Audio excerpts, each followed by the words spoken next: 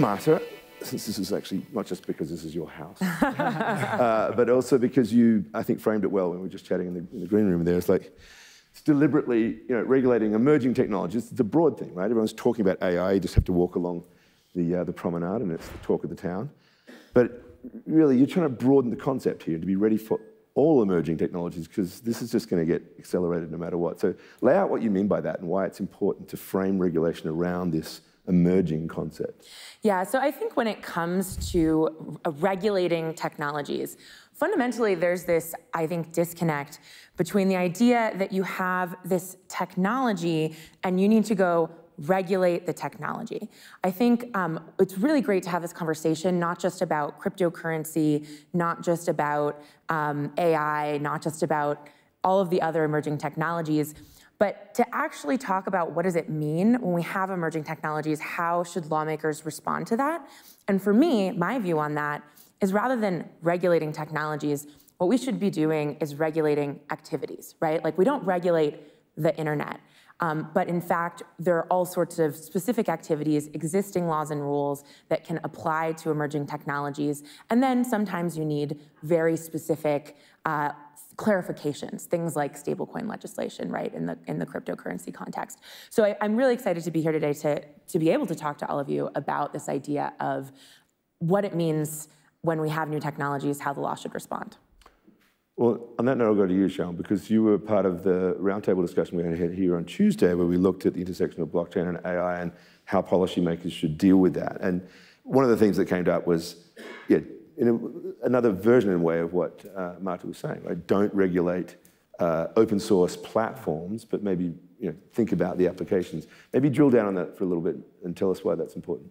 So innovation is very critical for you know, progress in human mankind. Technologies continue to evolve. I mean, it used to have be a, it used to be a 10-year big uh, technology cycle, then five. Now it's almost two, two years, right? Every two years, and it continues to shorten. The, the innovation cycle continues to shorten. Regulation and technology are like two pins within a rubber band, right? And as technology continues to move forward, the regulation has to catch up. So the gap between them is ideal what happens is regulation, um, you know, especially when they are draconian and large, overall um, puts the pin and is stuck, and technology tries to move forward, it keeps, it keeps getting pulled back. So within the context, um, technology alone itself isn't bad. It's about how it's used, how it's applied.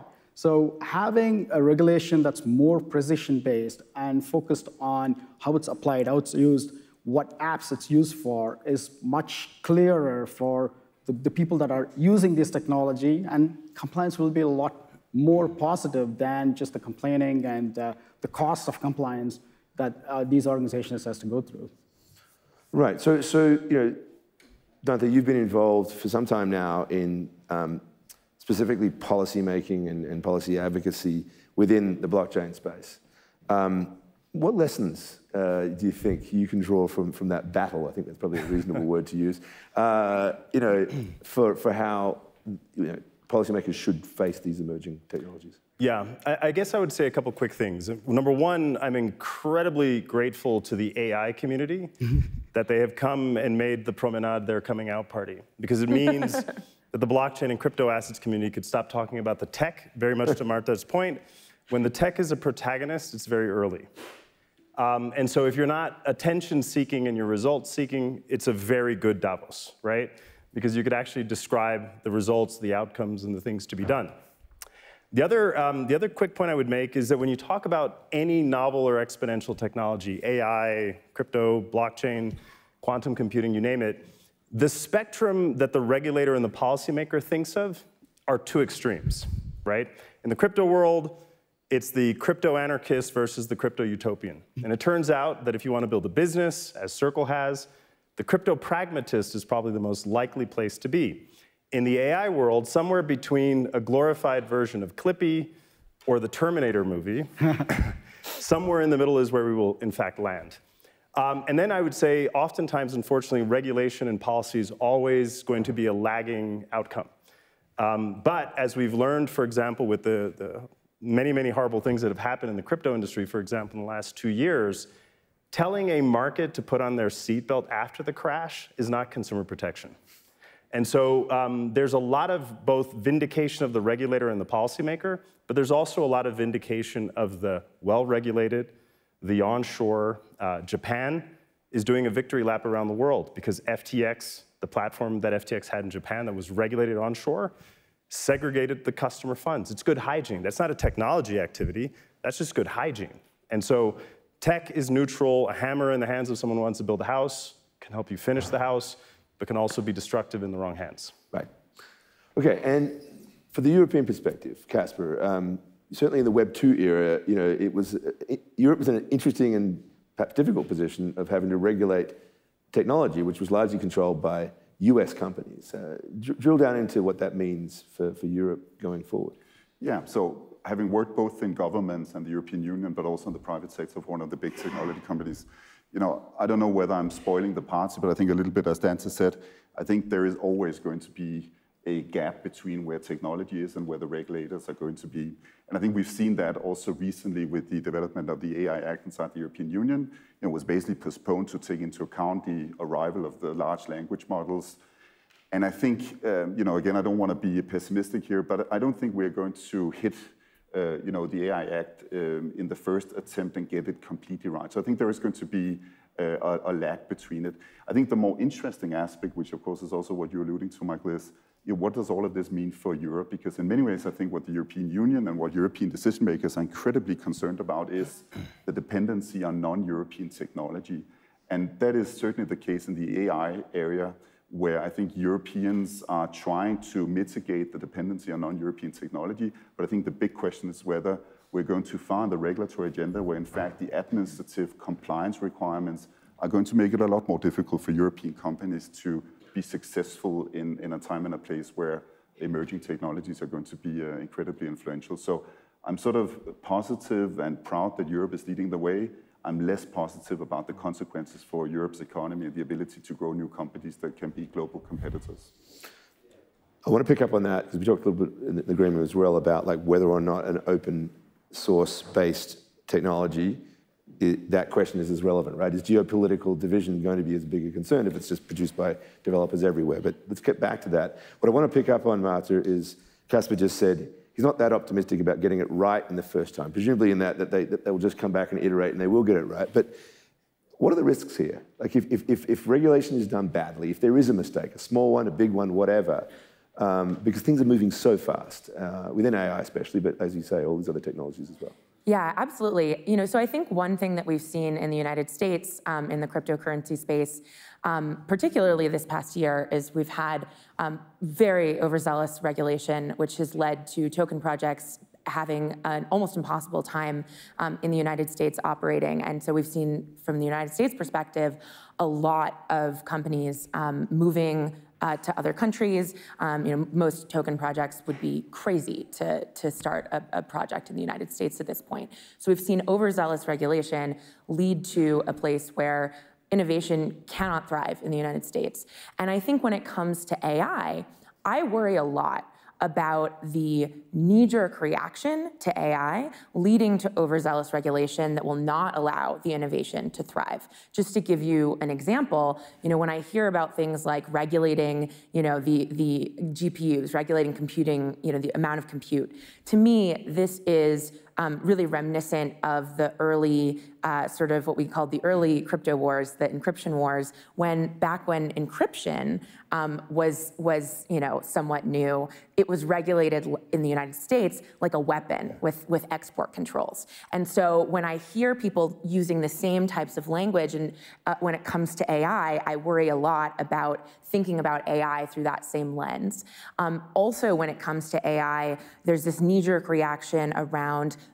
uh, AI being able to learn from information that's available on the open internet, right? Um, and a lot of people saying, well, if AI is looking at my content, I should be receiving some sort of um, compensation from that. And I understand that knee-jerk reaction, but I also think that there is an absolutely critical precedent um, that enables things like Google to exist, right? That machines should be able to go out and look at what's on the open internet.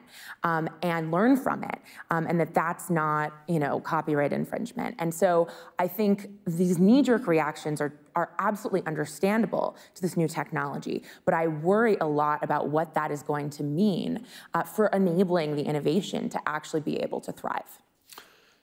Uh, Shyam, one of the ways in which innovation does get uh, squeezed, uh, to, to pick up on what Marta was saying, is that overzealous or maybe well-intended, whatever it is, you know, it places a compliance burden, right, on, on startups, something that's much, easy, much more easily absorbed by a big company.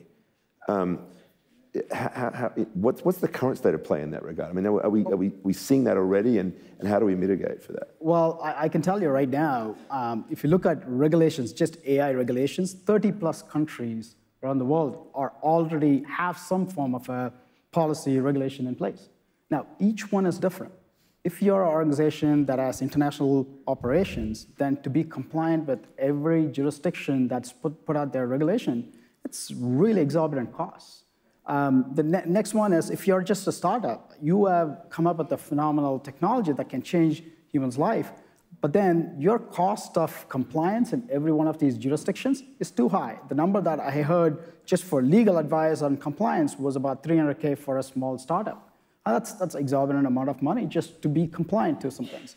I, how do we address this? I think there is a need for uh, international collaboration across all the regulators there's a need for simplification of the regulation to say these are uh, the base structures, and then on top of it, you know, if there is something, for example, in uh, in the U.S. there's the executive decision for the AI Act, and then there's a New York uh, policy that the state put out. So these are all, you know, they're completely different, and the co the cost of compliance is different.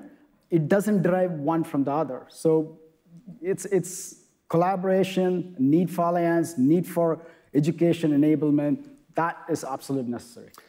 Now, the cynic in me is going to say that that, that is by design, not, not because it's for the better of the outcome, but, but, but policymakers going to policy make, right? That there is this, and it's actually interesting talking to somebody this morning. We had, a, had that roundtable today as well. We're looking at tokenization and, and, and, and policy making as a, as a hurdle and how to deal with that. And somebody who talked about how there's this instinct amongst regulators, I'm going to turn to you on this, Dante, because you've been in there in the, uh, in the halls of power, and, um, to just to want to name things, like identify a technology, identify an asset class, and, and ultimately just layers, layers and layers of, of unnecessary complication. Because if we're thinking about letting a technology thrive, categorizing everything and then putting regulatory frameworks around that creates all that bureaucracy. But if I'm thinking about Shyam's example as well of a, you know, a New York regulator versus a federal regulator, each wants their power base. And naming something is an act of empowerment, right? So, how do we have a conversation with policymakers that somehow acknowledges that instinct? Because governments are going to want, they don't like things they can't control. But we have to let this, there is a certain act of letting go that we want these policymakers to do. What's the, what's the payoff for them? How do you convince them that it's time to step back a little bit? Yeah, and, and, and I think just we should not, of course, forget the somewhat selfish instinct, which is that if something fails and it fails on your watch, as a public policymaker, you're likely to be accountable, right? So after the collapse of stable and name-only coin Terra Luna, which bought the stadium naming rights in Washington, D.C., uh, some public policy questions should be asked, not of the industry, but of the entity that was responsible for letting the fox watch the chicken coop. um, I would also add one more thing. As much as oftentimes the instinct among regulators and policymakers is consumer protection, market protection, and so on, in, in being so overzealous as Marta described it, we could also protect whole economies from job creation, technological relevance, the industries of the future. And so it, it, should be very notable, as much as I think there's been, a, again, thank you AI, a shift in the technology conversation. Um, it should be notable that in the coldest, darkest, most biting uh, time of crypto winter, most of the G20 nations have started laying out whole of economy, whole of government frameworks for regulating digital assets. The untouchable corner of fringe finance that created Sam Bankman-Fried and Terra Luna and terrible things in between uh, is getting whole of government regulatory clarity. Now, to the industry players, those on the stage and those in the audience, Um, sorry to say, the cost of arrival is that you're likely going to get regulated. So you've arrived. Casper. Casper, bring, you've bring in the European perspective because I think You that want me to be more positive than you, this? you're going to. I'm asking you to, I'm asking you to get, get in your happy space. No, and, and, and it's actually I'm looking for, for the you know the, the positive take on Europe because uh, essentially like one would think that how many members are in the EU is 37 now? It's 30, 27. 27. That's right. So We used to be 28. that's right, you did. Uh, that there would be, like, it, it would seem an impossible, you know, collection of entities to try to get together. Like herding cats, how are you ever going to get regulation done? Ironically, in the blockchain space, that cat herding exercise has been far more effective and, and uh, uh, you know, at, at processing new regulations in that space. Uh, as well as the fact that through the sort of passporting systems and everything else, you end up with actually a much more homogenous form of regulation than the New York versus federal environment that Shyam was alluding to.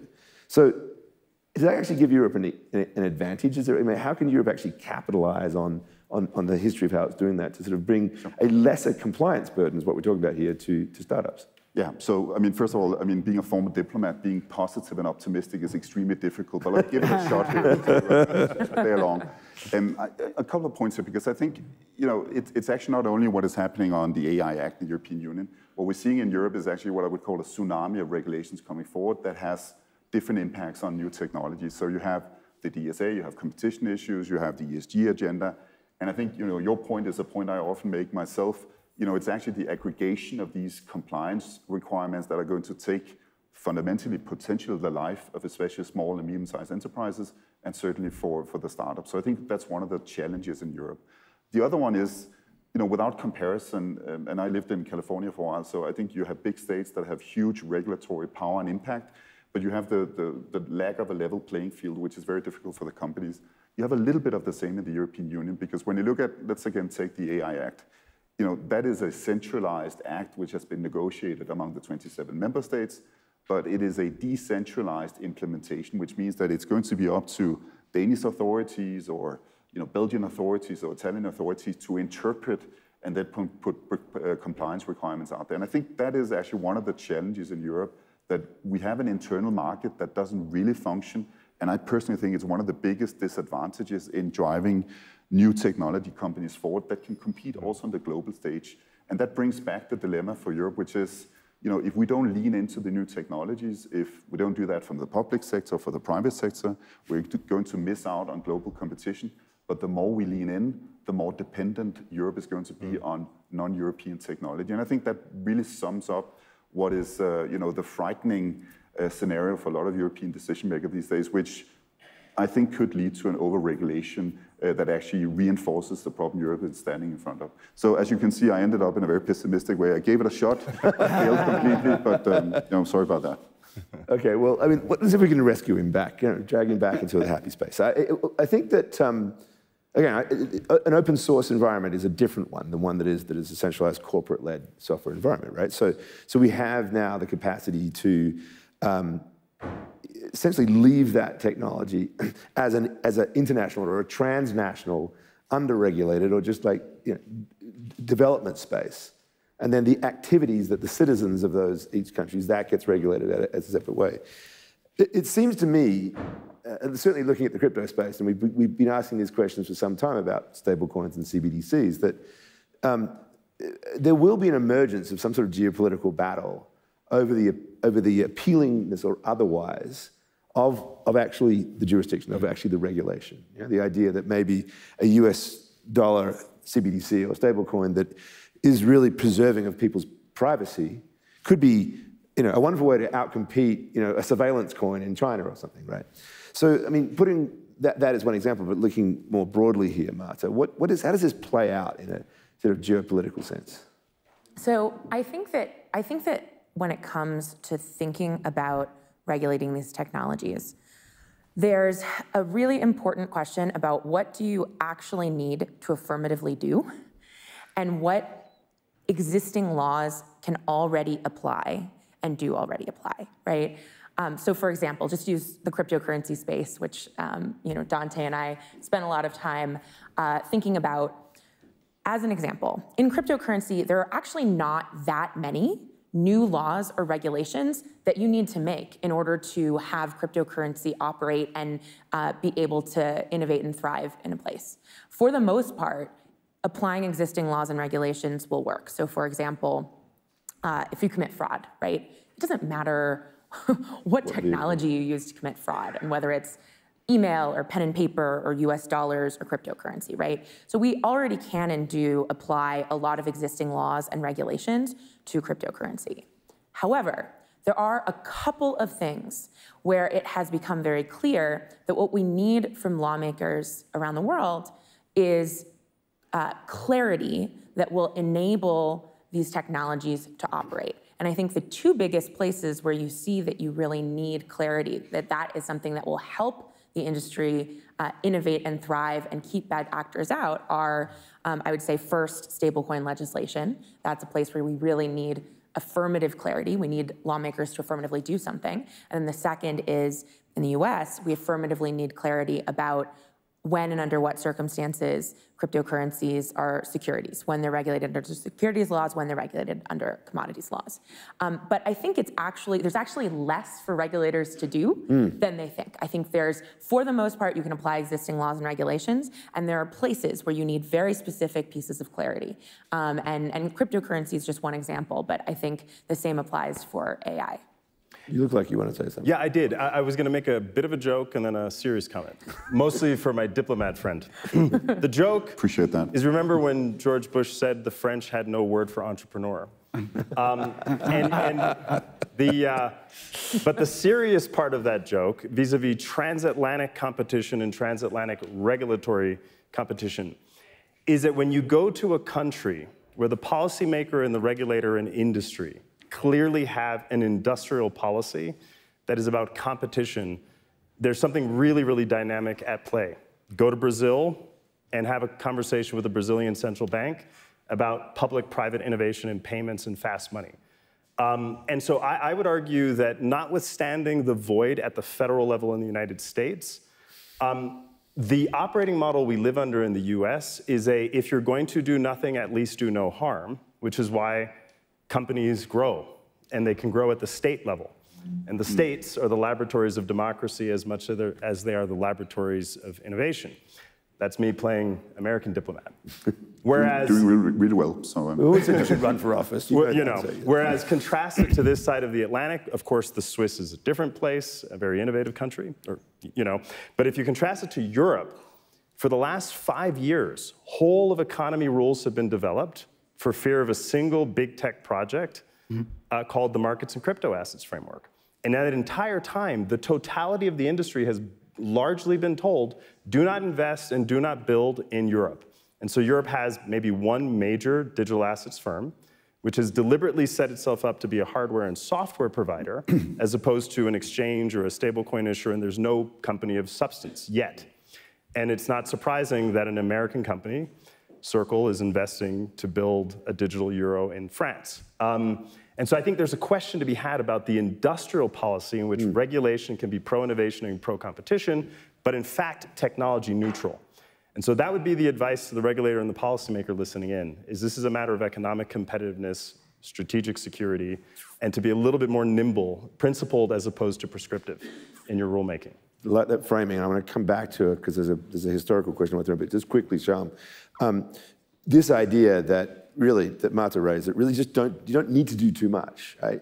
Can we apply that to AI? I mean, is it the same? Is it sort of get out of the way is the best thing for regulators? Uh, I love the idea, but with the right guardrails, guardrails being, you know, um, regulators or even organizations that advise the policymakers to have open source tooling that shows the level of compliance, right? And this is, this is very important because uh, things like bias, ethics, and discrimination, all of these can be captured in metrics.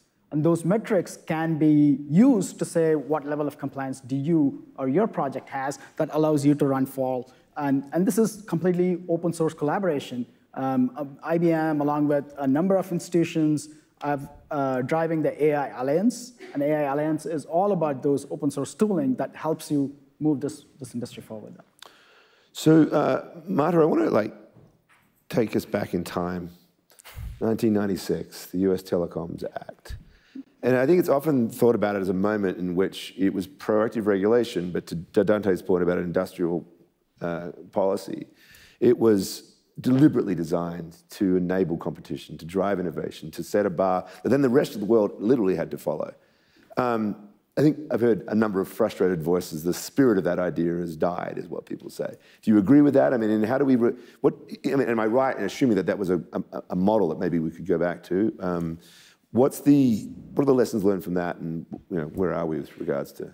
Yeah, I think fundamentally the question is, if we want innovation to thrive in any particular country, um, what is it that we need to do to, to enable it to thrive, right?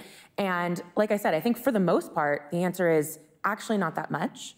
But there are these really shining examples, for example, like, for example, Section 230, which actually enabled um, people on the uh, intermediaries on the internet to be able to have users that uh, put things onto their uh, platform without the platform itself being liable, which without that, the open internet would not have been able to thrive, right?